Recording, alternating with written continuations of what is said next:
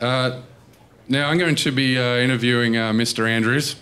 Uh, the first time I met uh, Seth was in um, in Boston. We both spoke at the same event at the uh, Atheist Alliance convention there, and and the day.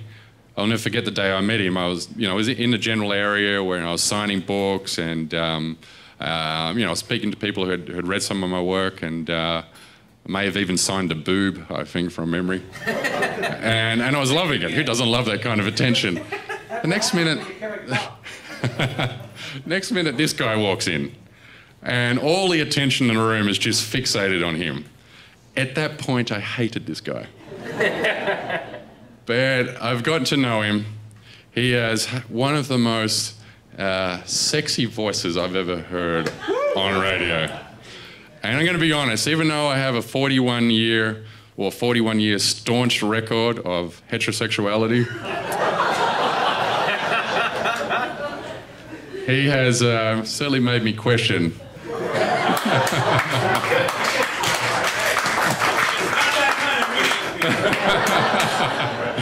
Just put all your keys in the big bowl at the back and we'll get this party started. But uh, his book uh, is one of the best polemics on, you know, the uh, the process from stepping from superstition into reason. It's a personal journey because it's a journey that he took himself. Um, I encourage everyone to read it. It's, it really is a fantastic read.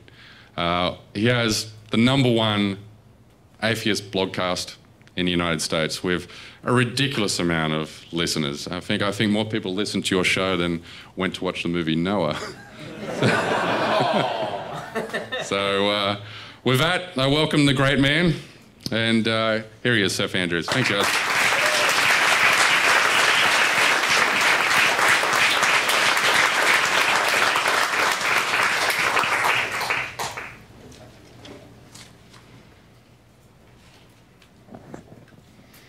Thank you so much for coming out today. It means a tremendous amount that on a day this gorgeous, you would be here, inside, in the dark. Before I officially begin, funny story. Today is, is I'm not looking for applause, so don't give it. Uh, today's my birthday. And so we're in San Diego. Yeah, yeah, okay. It it ain't the years, it's the mileage, right? So Natalie said, "What do you want for your birthday?" Well, I'm one of those guys. Normally, if I if I need something, I just go get it. I don't I don't need a lot. But I'm working on an idea for a second book that may or may not come to fruition. And I told her, I said, I'd, I'd like to go and sit down for a reading with a psychic just to see what happens. And so yesterday at Ocean Beach, which apparently was ported in from outside this solar system, we found a psychic. And I went in and we all sat down. There were several people there, most of them related. And she began to ask me questions. And there was a series of cards and there was several rows and at the top she said this is God. And God has an amazing message for you. And the card was it said druid on it.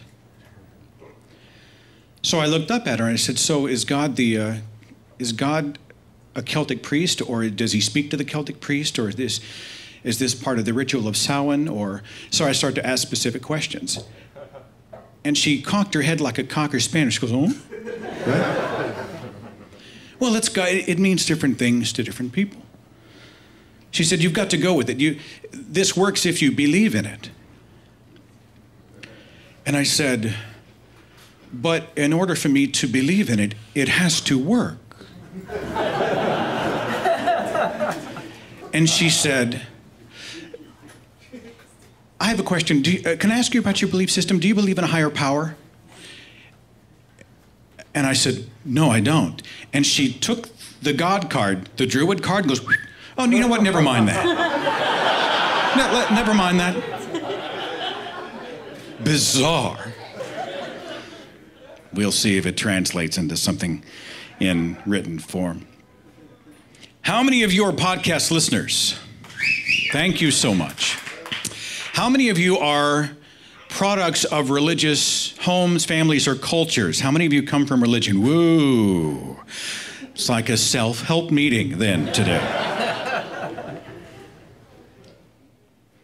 Hi, I'm Seth, ex Christian. I've been sober for six and a half years.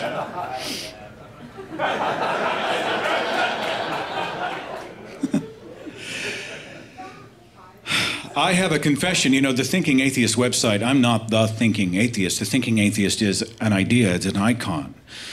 You and I, who come from the faith, know what it's like to walk up to a pastor or spiritual leader and say, This doesn't make sense. Can you explain it to me? And they look at you and they say, You're thinking too much. You can't put God in a box. There's no way you, the insect, can understand the mind of God. You have to turn your brain off and go with it. You have to take it on faith. And I, I thought, no, I'm done taking it on faith. Let's create an environment where thinking is encouraged. And so that's what that icon represents. But lately, I must admit to you that this has been my posture. because I feel like I am having the same conversations over and over and over again. Those of you who are in the arena of debate, do you know how that feels? Science gives us something new to talk about every single day. Religion, we've been debunking the same stuff over and over, and yet it continues to be tossed at it as if it was a fresh and new idea. Now, I'm an ex radio guy. In fact, I was in Christian radio for about a dozen years, and I went into pop and rock radio after that, and I know what it's like. When radio plays a song, and the first time you hear it, you go, man, that's really interesting. And then after corporate radio is done with it and they play it every nine minutes for three months, what happens? The song comes on the radio and you are out of there. Know what that's like? That's why right now I would like to have a moment of catharsis with you, a moment of therapy as we review some of my top theist arguments. Ladies and gentlemen, on the countdown tonight, we start with Ken Ham. My granddaddy wasn't no monkey. you guys see him and Bill Nye? I thought Bill did great. There were a few times I was shouting at the television, probably like you were, say this, Bill. My, He's Australian. sorry, he's Australian. We don't count him. We don't count him in any statistic normally.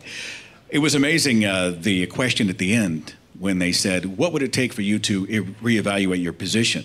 And Bill Nye was like, One piece of evidence. Ken Ham was like, Hi, hi, hi, hi, hi, I don't know. He just shut down. Anyway, I, I thought Bill did very well. Next on the list, evolution. It's just a theory. Anybody heard that one? the God of the gaps. It takes more faith to be an atheist. Teach the controversy. This is for Wendy Wright and her ilk. You were never a true Christian to begin with. You took it out of context. I had a personal experience. You're just angry. Better safe than sorry, Pascal's wager. There's little Blaise for you right there. Hey, how did something come from nothing?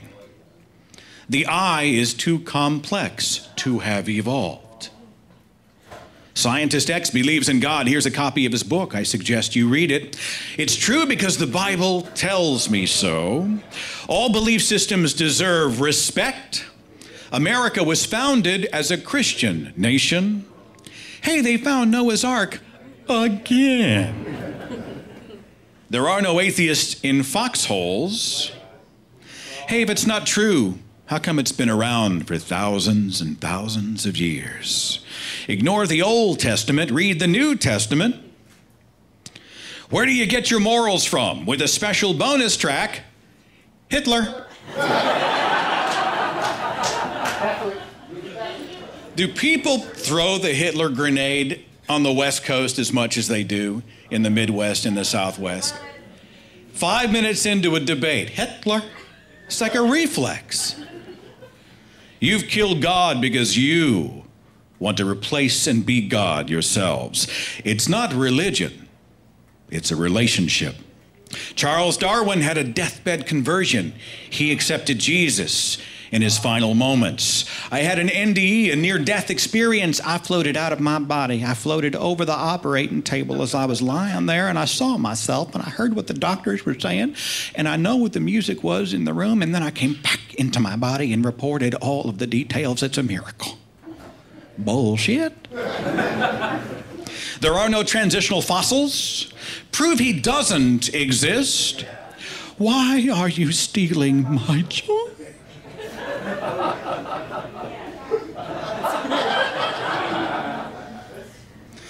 For someone who doesn't believe in God, you sure talk about him an awful lot. I think you've got a guilty conscience. The Holy Spirit's dealing with you in a way. And help me out with this one. You may not believe in him, but he. You guys should go on the radio and count it down with me. You're really good at this. For many, this is legitimate in its response to science. To you and I, it is what we call a weapons grade facepalm. I was fitted at a very early age with God glasses. God glasses do two things they filter out uncomfortable incoming rays of light. The things that make you squint and go, oh, that makes me uncomfortable, blocks those out. The second thing it does is it comes with blinders, which keeps your vision focused, actually forward and up. So you don't see much of what's going on around you. I'm a product of a hugely Christian family. My parents are theologian level believers. I'll tell you how intense they are. They met at Oral Roberts University. The Disney World of woo, folks. They honeymooned in the Holy Lands. Uh, my mother wrote a Greek New Testament study guide used at the college level. And the idea that I would be here today speaking out against that faith is a moment of tremendous heartbreak for them. It gives me no joy. But I honestly, I feel like someone has to say it. It, it helps me to say it. That what I was given was sort of a spoon fed worldview, and I was fitted with God glasses. I wasn't really seeing. I was seeing a limited perspective, but not the whole thing, not by a long shot. Anybody know what this is? It's the answer to life, the universe, and everything. Are there any Douglas Adams fans? The rest of you, shame on you. No, if you ever get a chance to read some Adams, he's, his stuff's amazing. Of course, The Hitchhiker's Guide to the Galaxy. As they build the computer deep thought to give us the answer to life, the universe, and everything. We're always searching for answers. We want to know. The computer takes, what was it, seven million years to come up with the answer, which was 42. Hugely anticlimactic and unsatisfying. So then they switch and say, well, maybe we need to understand the question what is, what is the ultimate question? I will come back to that. It's so frustrating to live in a culture that doesn't just abide ignorance, it celebrates ignorance. Anyone ever heard the, you know what, I don't, I don't want to know, I don't need to know, I don't, I'm not interested. You know what? It doesn't matter what evidence you bring, I'll never change my position. What a prison that is. I was like this young lady. Now, does she have any idea what's in that book? Does she have the experience, the perspective, or maturity to properly digest what is read to her from that book? No. But if you were to take her aside in full view of her mother and father and say, Is that book true? What would the answer be? Yes. And her parents would be beaming with pride. Oh, how wonderful. Who loves you more than anyone? Jesus. Even your own earthly mother and father. Who loves you more? Jesus. It's tragic. I did a, in fact, the speech I did in Boston was called Get Them While They're Young. It talks about the hyper targeting of young people. That speech is online. And this mindset comes from the pages of Scripture. Colossians says, Set your mind on things that are above, not on things that are on the earth. In Second Corinthians, we look not to the things that are seen, we look to the things that are unseen. For the things that are seen are transient, but the things that are unseen, well, those are eternal. What happens out here, this is unimportant. It's only God, it's only the Bible. It's only God, it's only the Bible. In fact, if you go to Creation Ministries' website, they'll just tell you by definition, no apparent perceived or claimed evidence in any field, including history and chronology, can be valid if it contradicts the scriptural record. Does this terrify anybody else? Science could bring us a life changing discovery tonight, would change the world. But if it doesn't fit between the first and last verses of the Bible, you kick it to the curb and reject it outright. How tragic is that? I'm reminded of this cartoon with the candle of science, and they say, hit it with your Bible. now, here's one of the best examples of this kind of training, and it is training. They go after young people specifically to limit them to fit them with God glasses. Anybody here know who Joyce Meyer is? Well, for those who may not, she is an evangelist, she's an author and speaker. We actually featured her in our Sex, Money, and the Ministry uh, broadcast as we talked about the multimillionaire evangelist who live hugely luxurious, obscenely luxurious lives uh, in the name of God.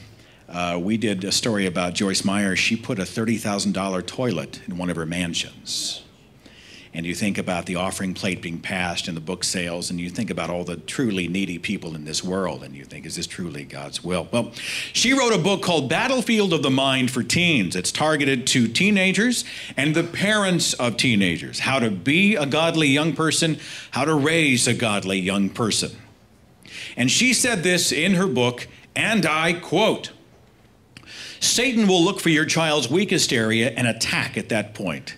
He will attempt to fill your child with worry, reasoning, fear, depression, and discouraging negative thoughts. She lumped reasoning in with worry, fear, depression, and negativity. It gets better. I once asked the Lord why so many people are confused, and He said to me, Tell them to stop trying to figure everything out, and they will stop being confused. I found it to be absolutely true. Reasoning and confusion go together. Weapons, grade, facepalm. And I have to resist the urge to inform Joyce Meyer that if she is preaching a literal Bible, that she is not qualified to instruct me in any way whatsoever.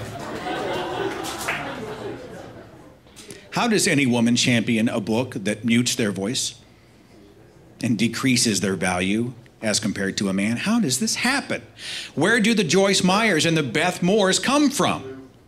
They're wearing God glasses, or they're filling their pockets. Ignorance often fueled by fear an entire generation of religious young people in this country trained, programmed to fear evil like this man.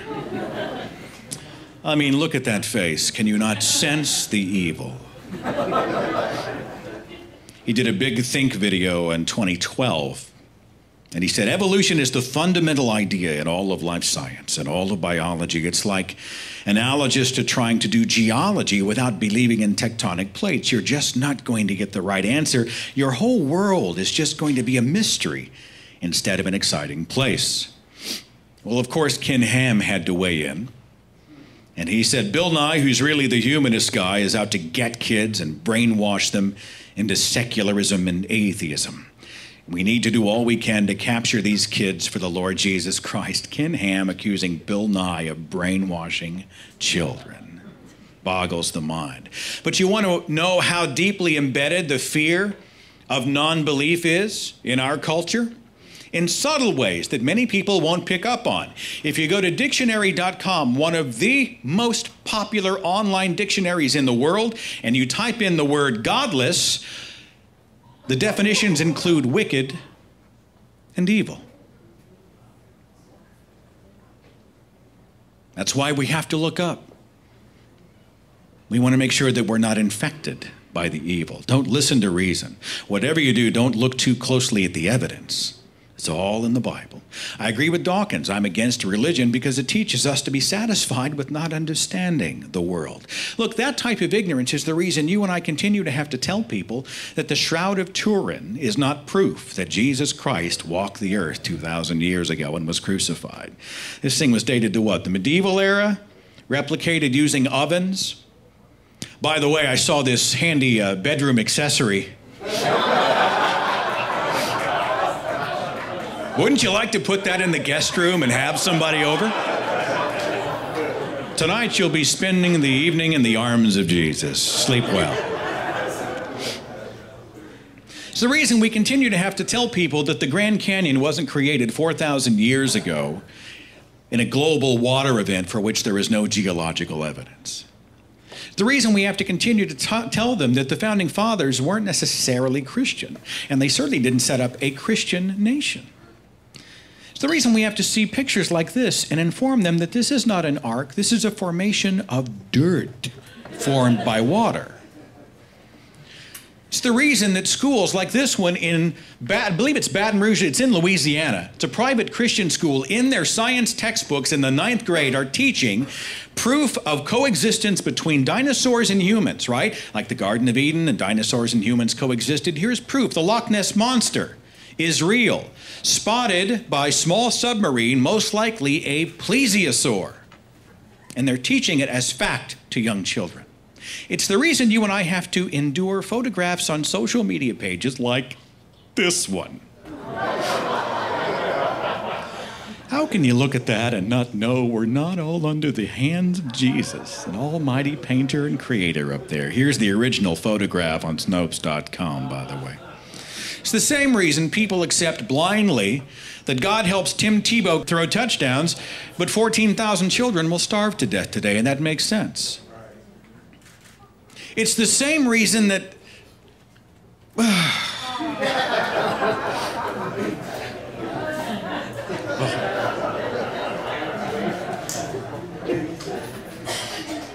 The same reason we have to continue to hear that carbon dating doesn't work. Of course it works. I mean, Look, there's carbon dating right there.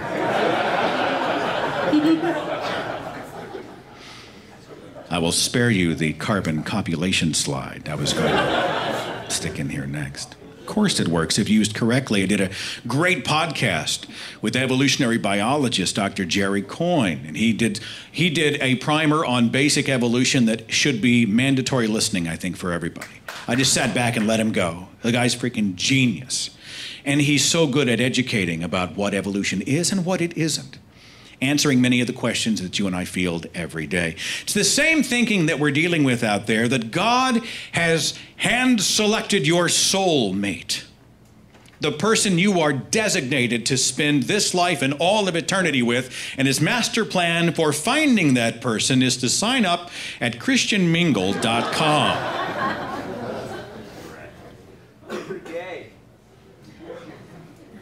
Anybody remember the Procter and Gamble scandal? People here reluctant to give away their age. I totally understand. Well, for those who aren't familiar with it, back in the 80s there was an urban legend, a rumor that ran like wildfire in Christian church circles that Procter and Gamble was giving portions of its profits to the Church of Satan and was essentially sort of a clandestine Satanist organization. And this was revealed on supposedly on the Donahue talk show, and people boycotted Procter and Gamble left and right.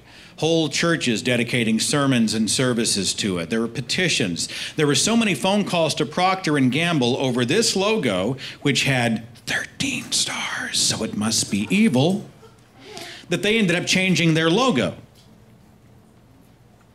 Now, a basic search at a library, because the internet wasn't around back then, but just some basic question answering processes would have revealed that this was created by dock workers in a time when many people were not literate and used symbols to mark different crates. And the 13 stars represent the 13 colonies of the United States. Nothing satanic about it. But the panic was real. Ignorance fueled by fear. And there are people to this day who refuse to buy any product made by Procter and Gamble just in case. Stephen Prothero wrote a book called Religious Literacy What Every American Needs to Know and Doesn't, which deals with ignorance not just about science and the rest of the world, but about our own Bible. How much did I really know about the scriptures when I was championing the scriptures as absolutely true? Well, he wrote this book, and it was a fascinating study that surveyed like a thousand people, believer and non believer alike. Let's just find out what America knows about its own Bible. And the results were startling. 60% of Americans can't name five of the Ten Commandments. These are supposedly the most important rules ever handed down to humankind. Now, people can remember all the lyrics to their favorite songs on the radio, right? They can remember lists of all sorts of sort of superfluous stuff, but the most important rules ever given by God to humankind, you're lucky if you get half.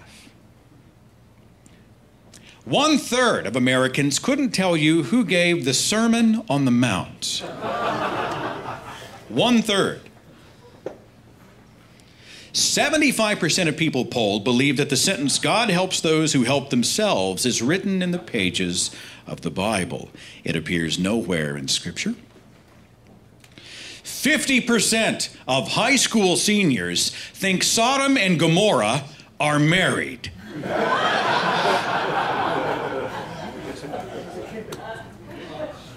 Ten percent of people surveyed believe that Noah's wife is Joan of Arc.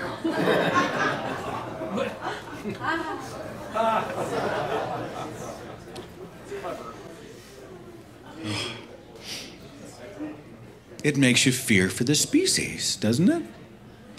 Aaron Ra is a buddy of mine. Any of you guys know Aaron and his work? Uh, I saw him at the, uh, yeah, give the guy a round of applause. We put together a, a three city tour uh, him myself and matt dillahunty and we sort of tongue-in-cheek titled it the unholy trinity tour we go out and we speak and i just saw him recently and, and i'd seen him at another event in um, uh, Little Rock, Arkansas. It was called Reason in the Rock. And he said something from the stage that was so good. When he was done, I grabbed him and I said, I'm stealing this.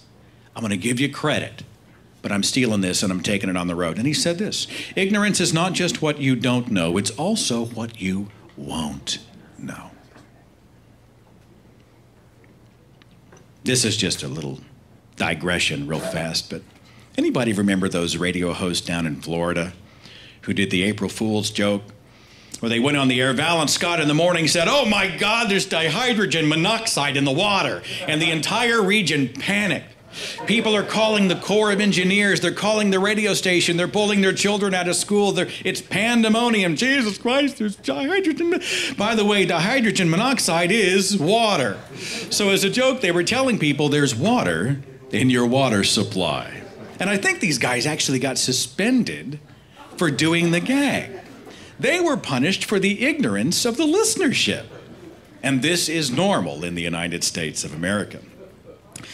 Now, far be it from me to stoop so low as to shill for my personal book or product line while I'm here in San Diego, California. I think it's low and classless to do such a thing, and I would never stoop to that depth here. I, I actually, I will. Yeah, thank you. I do appreciate the support. Uh, I, I, the book table is what I have in lieu of an honorarium and uh, it helps to support my work, and I'm greatly, greatly appreciative of that. But I bring the book up for this reason. I wanted to share an anecdote with you. Many of you know what it's like to come out of a religious family and you're pawed at all the time. Does anyone know what that's like? You're a pet project, right? You're broken. I will fix you. It's not enough, I will pray for you. It's, I will fix you. And uh, I went through a very long period of time where my relationship with my mother and father was really on the ropes. And even now, there's an uneasy peace. It's difficult, but it's better. But we were at a point where I couldn't have a parent child relationship because every conversation became an indictment of the fact that I rejected the worldview. I mean, they'd spent thousands of dollars. Mom took a job just to put us all in private Christian school to make sure that we would be raised up, trained up a child to be part of the straight and narrow, to be part of God. They see my apostasy as their failure as a mother and father, and it kills them. My father believes in a literal hell. He worships the guy who will send me to eternal torment. Go figure. I can't figure that out.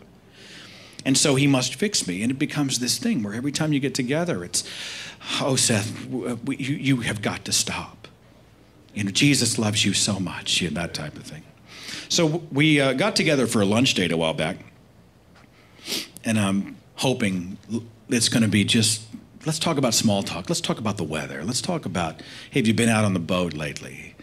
Um, how's retirement treating you? That kind of stuff. And we went and we had lunch and we had a ball. It was really nice, really nice. And we got to the end and we walked out and I'm feeling pretty good about it.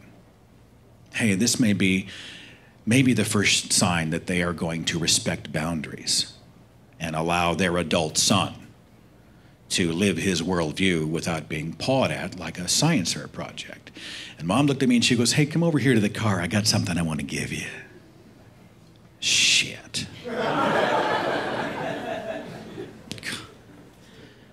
All right. So I walk over to the car and she pulls out this book. It's The Dawkins Delusion by Alister McGrath.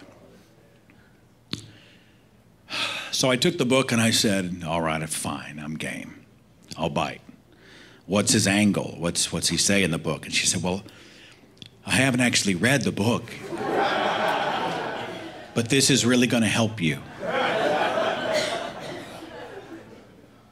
It was enough that Dawkins' name was in the title, and Daw- Dawkins is supposedly the Pied Piper of atheism, right? To the outsider, they think we're all lemmings following Richard Dawkins over the cliff. And I'm like, you have no idea how much you have betrayed your ignorance about the free thought movement, right? Even those of us who have admired Dawkins' work, and I have, have points where we say, no, I disagree with that, I disagree with this, I disagree with this, I don't care for that. We're not sheep following this guy over the cliff. We may admire and respect his work and be grateful for his work. His work was instrumental in my own apostasy. The idea that we're just lining up like you would line up behind a spiritual shepherd is just crap. There is a, um, a syndrome that happens in religious cultures often that I find to be very alarming. And I did a radio interview with the guy who was my Christian radio boss. I don't suppose any of you heard that exchange, did you? I'm very sorry.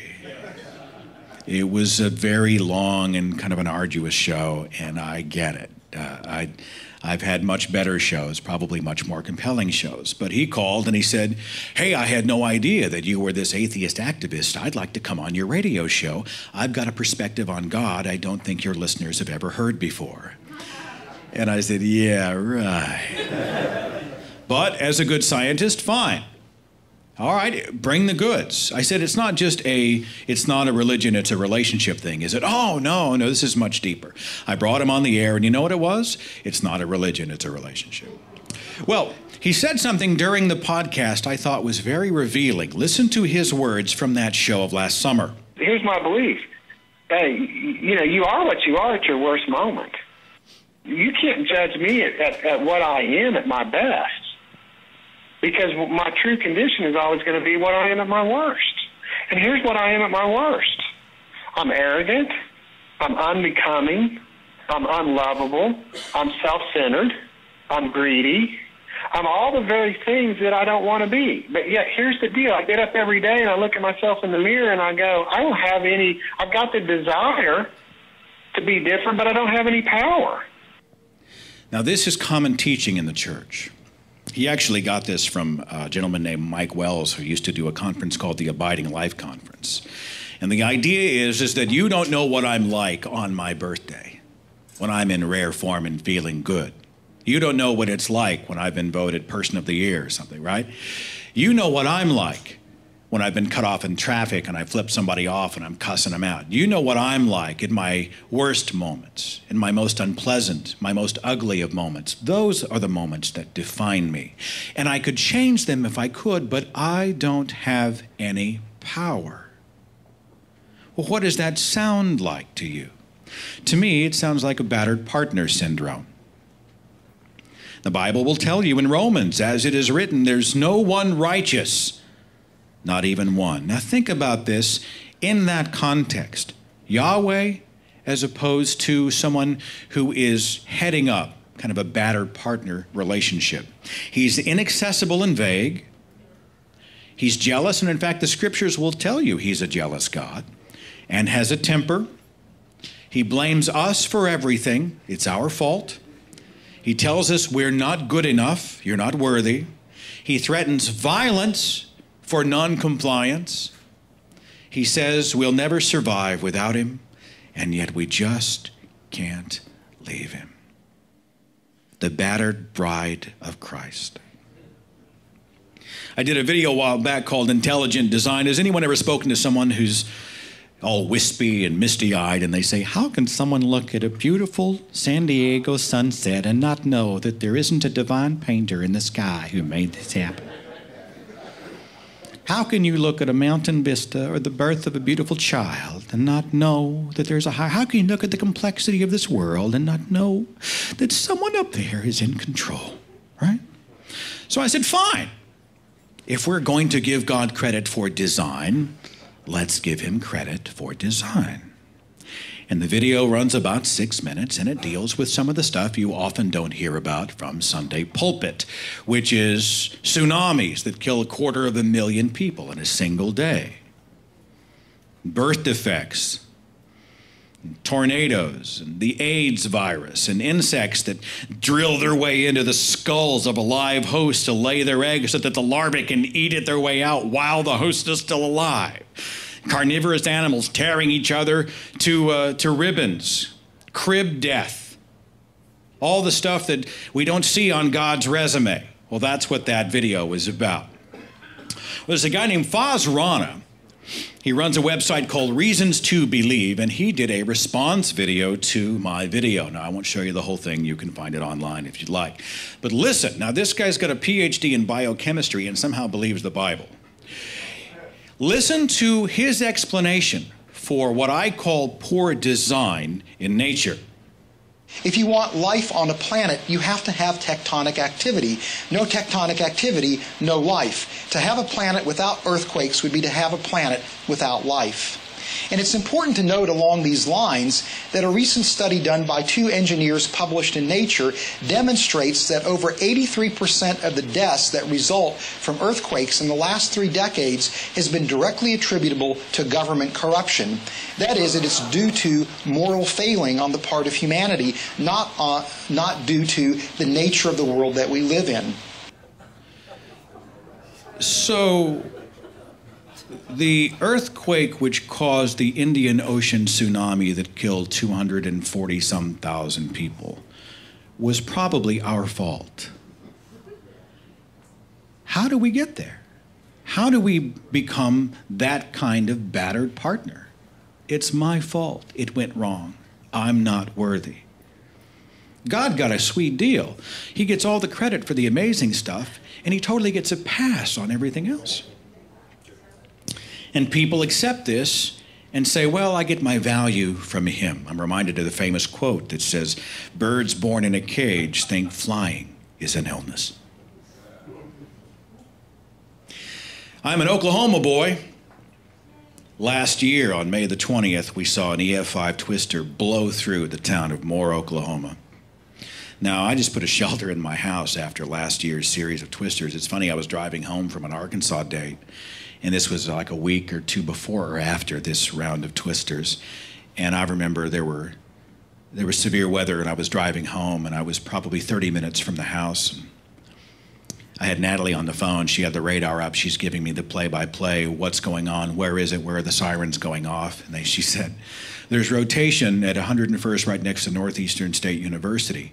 While I was on uh, the Creek Turnpike driving home, I was five miles driving toward Northeastern State University and there was horizontal rain and no visibility I couldn't see. And at any moment, I thought, Jesus, there's going to be a freaking twister. And so we put a shelter in this year for that because we've had just such a, a tough, tough time. But Oklahoma is a very religious state. And so instead of questioning this design, most Oklahomans just run home to mama, right? They run right to God and say, Oh, God, thank you that more weren't killed. Thank you that Moore damage wasn't done.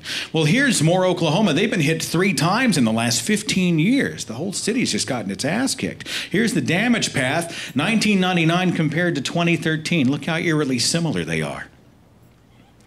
Horrible stories like a woman driving with her infant child in her arms, her family's in another vehicle behind her. They're trying to escape the twister, they're trying to get out of the way, and she didn't get there. The driver's side window smashes out. She and the infant child are sucked out and killed. Here's the vehicle. This is Moore Medical Center. A community devastated. And then you go to websites like the Christian Post that say Bible found in OK tornado debris. Open to Isaiah 32 2, providing hope for many. And even the Washington Post followed suit. Bible pages seen as sign of hope in storm. Now look, I'm not trying to trod upon the lives and the grief of the grieving. But somebody's got to say it. I understand we build the mechanisms for coping, but they are made by us. And here's probably one of the most devastating examples. This is Plaza Towers Elementary School. I was watching on live television. We actually grabbed the laptop and poured it in channel 9 through the TV and watched it happen. EF5 Twister with 200 plus mile an hour winds plowed directly into the elementary school at the very end of a school day. The children hiding, cowering in a, in a uh, basement. There's no shelter in the school. Seven of the children horribly drowned. But guy named Danny Moody goes on Twitter and he says, This landed on my truck in the midst of a chaotic tornado. My God still delivers.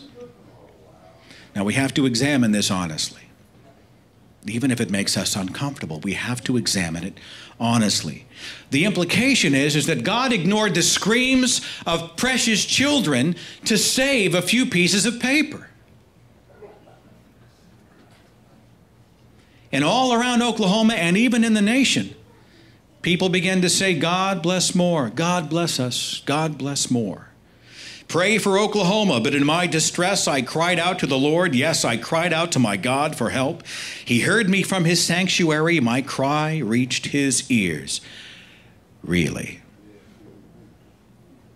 Our own governor went on national television. You know what she asked for? Prayers.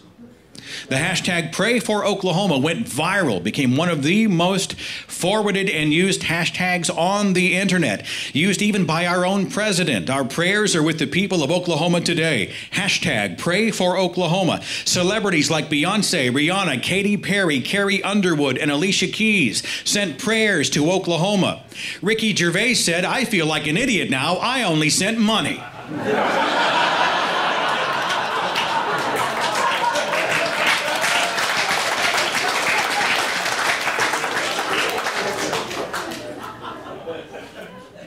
Now, watch this. He put the hashtag actually do something for Oklahoma. and he suggested that his 4.6 million followers each give $10 to the American Red Cross.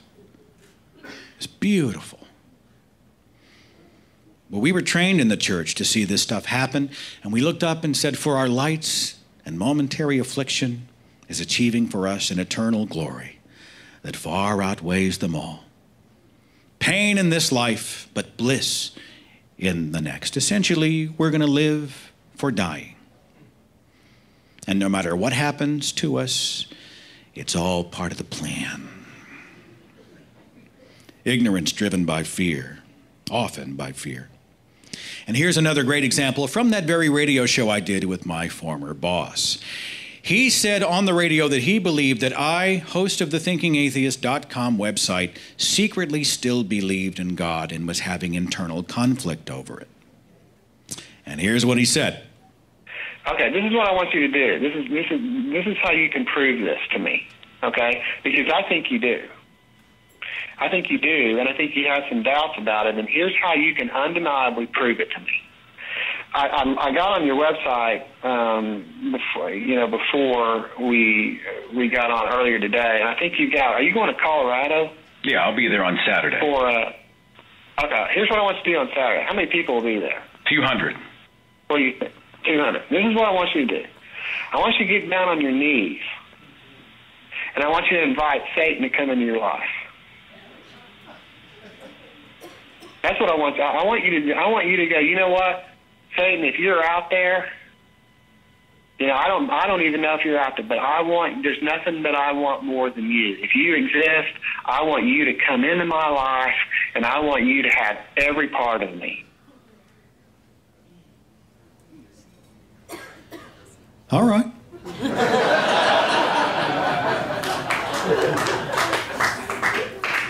Now, those of you with phone cameras are probably want to get them ready because there's a spot coming up that people love to put on Twitter and Facebook. There, there's a problem here. Is that it would be dishonest for me to say, Satan, I want you to be the Lord of my life, because it would not be true. There's one person who guides and directs my decision making process and accepts the rewards and consequences that come from those decisions, and that person is me. And folks, I don't know about you, but my days of bowing down are over. Over, right?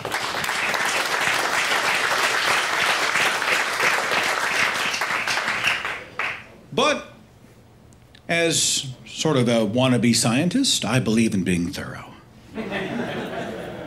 so I fashioned sort of a kind of an invitation to the Dark Lord, and I would like all of you to bear witness tonight. I always love this part of the speech. You can hear a pin drop out there, you know. Dear Satan, I am the Lord of my own life. I don't believe in devils, demons, or hell. In fact, I feel a bit ridiculous talking to a character I find as real and threatening as Lord Voldemort. but as a proponent of science, I believe in being thorough. So if you exist in this host of witnesses, I offer myself as a vessel for you to prove your power. Enter my heart, my body, my soul, or whatever's necessary for proper and unambiguous manifestation. And may my own eternal damnation provide the opportunity for the rescue of others.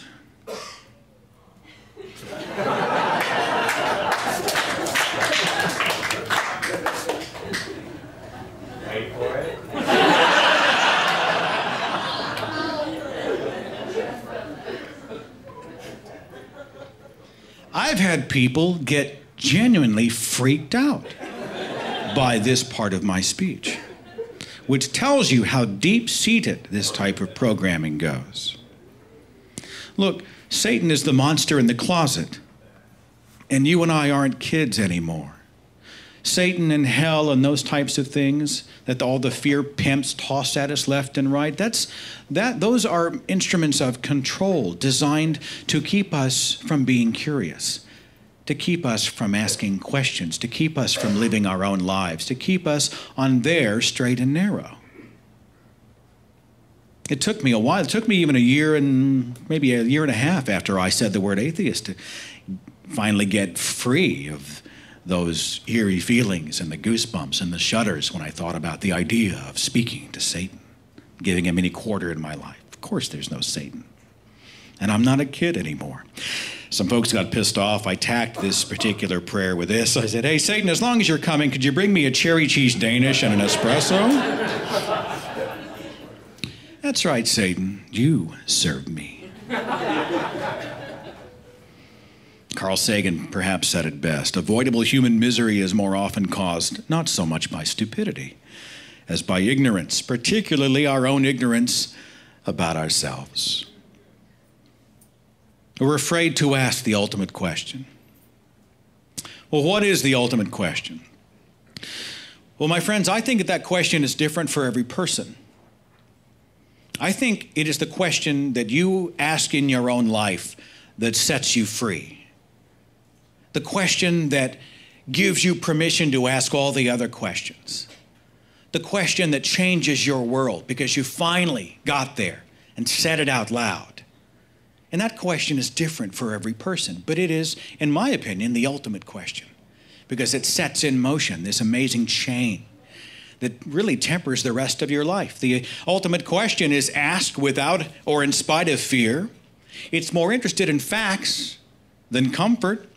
It's designed for knowledge over belief. It includes the whole of humanity and not segregated portions of it. It won't allow the answer to be a cheat. It's not afraid to hear, we don't know yet. It's asking a voice that's prepared to speak alone against a roaring mob or a deafening silence. And it represents curiosity, passionate curiosity, defiant curiosity about the things that we are told we're not supposed to know. Whatever they tell us we shouldn't be asking about, we should really be asking about that. Whatever they say is forbidden fruit, forbidden to know, we should definitely know that. Whatever they say is restricted and off limits and sacred, we definitely challenge that first, if possible. And our lives become greater because we've gained the courage to see the world and the universe as it is. And we continue every day to ask the ultimate question. Well, I normally would not finish a speech by reading something, but I was on the plane to uh, Colorado last summer and I just People often ask me what my role is in the free thought community, and look, I know. I, I know me. I look at my face in the mirror every day, and I, I, I, I get the opportunity to meet genius level scientists, and I think I'm at the kiddie table, right? I get the chance to meet brilliant philosophers and, and you know, ex theologians. And, and you know, I had Robert M. Price on the air the other day and mentioned Dr. Jerry Coyne, all these people. And I think to myself, you know, I, I'm not that guy. I'm not any of those people. Valerie Tarico had her on, freaking genius. But I do see my role as a communicator, a storyteller, which I think this movement needs. It needs people who can tell a story. But mostly it's that I want to be an encourager. I see people struggling with the same stuff that I did. They carry it with them and they deal with family and they deal with all the baggage and their their their entire zip code seems to be against them and they feel isolated and alone and I just want to encourage them. It's what the podcast is about. Let's learn some stuff, let's laugh together and be encouraged. So I I had this on my heart, if I can use some religious terminology there. I had this on my heart and I was convicted in my spirit. And I thought, I'm going to just write this out. So I pulled my laptop out. Have you ever had one of those moments? Maybe you're an artist, maybe you're a musician or, or painter or something, where you just get in the zone. And an hour and a half passed, and I'd written this thing, and I thought, this is exactly the way I wanted to say it. And so I carry it with me from city to city. And in places where I know that people might be struggling with this, I want to share the letter. Now, it takes about six minutes to read it. But if you will indulge me, my friends, I'd like to sort of cap the, the speech tonight with these words. And I'd like to read them pretty much verbatim because I like the way I said them the first time, if that'd be all right.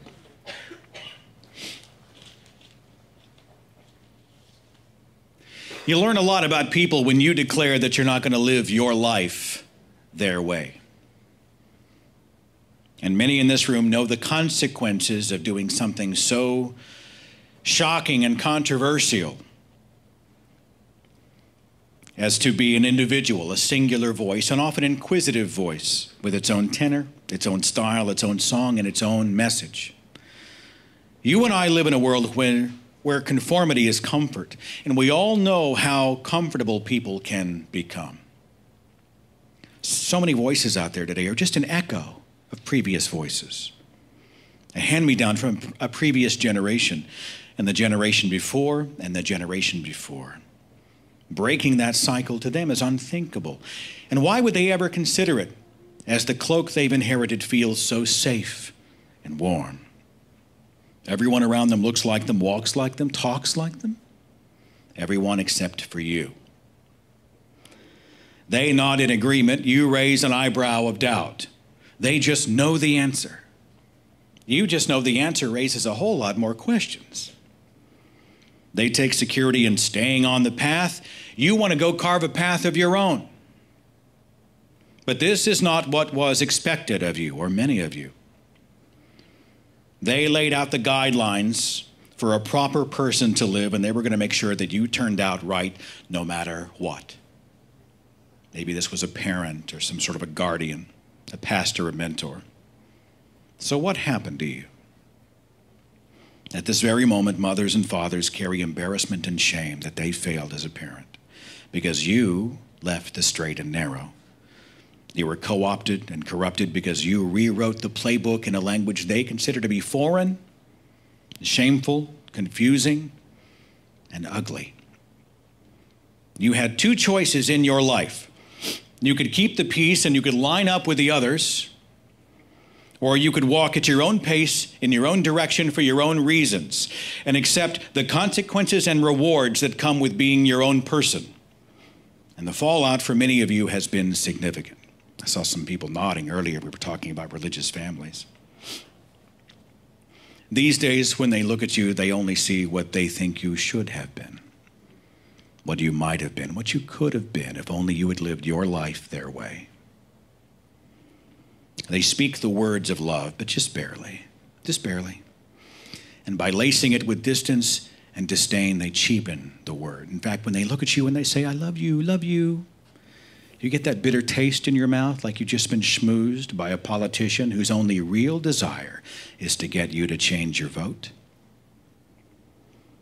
Yeah, they love you, but the full package, the 100% love, the unfiltered love, well, that's going to be kept on reserve until you straighten up, until you do it their way, until you start acting normal. Well, for just a second, my friends, let's look at normal, shall we?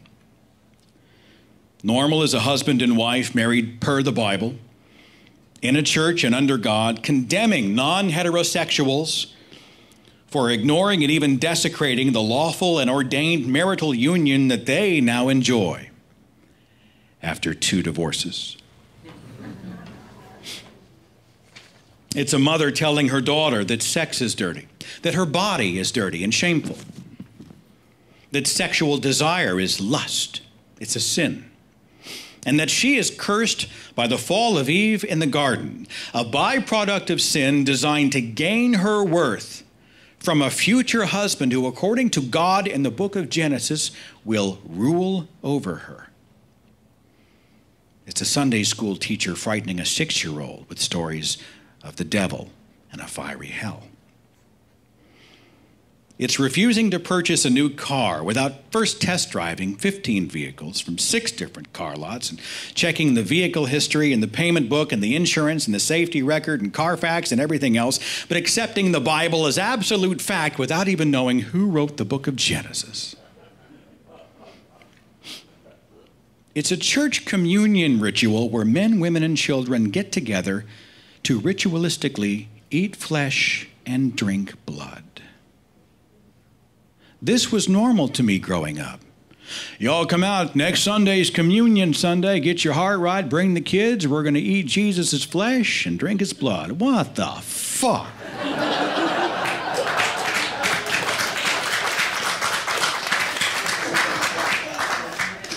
How was this normal?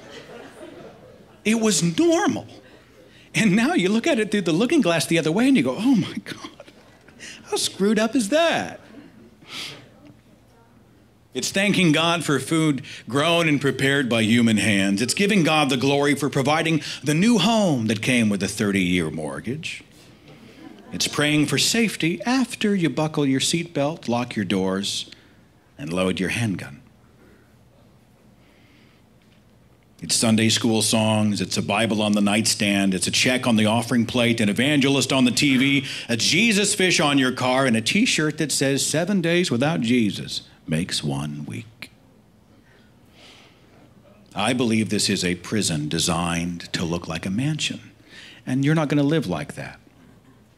You've read the books and you've seen the history and learned the science and realized the world is much grander than most people ever imagine. You finally found your own voice and you're going to speak in it. You've had the epiphany that you don't owe it to the rest of the world to keep them happy.